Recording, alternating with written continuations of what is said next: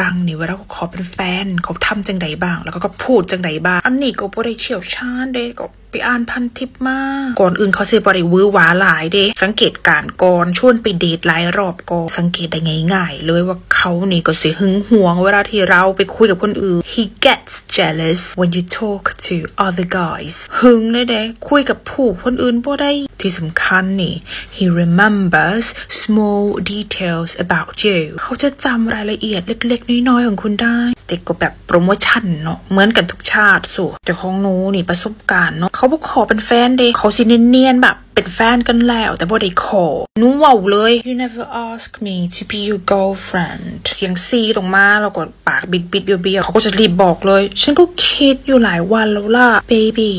will you be my girlfriend ควรจะเป็นแฟนฉันไหมหนูก็จะถึงเชิงแบบไม่ตื่นเต้นหึ่มกว่าสิเริ่มเขามาใกล้ๆแล้วบอก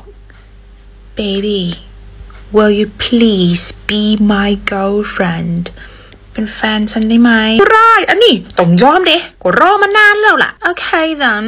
ก็ได้ก็มักถามเขาด้ทำไมถึงชอบซะล่ะ you make me feel good about myself คุณทำให้ฉันรู้สึกดีกับตัวเอง อันนี้สำคัญด้อันนี้ดูบอกเทคนิคเลย คุณสามารถทำให้ผู้ชายคนหนึ่งรู้สึกดีกับตัวตัวเองนั่นทำให้เขารู้สึกว่าเขาแข็งแรงและพร้อมที่จะดูแลเราได้เขาจะชอบแล้วหลายเลยติดนุบเสือหนูหนูเชียวชาญเด็กแต่อันนี้นี่อดีตเด้ ตอนนี้โสด I am single and ready to mingle โสดโปรดจีบเด้โอ้อีหลีเถอะนี่ขายของเด้นี่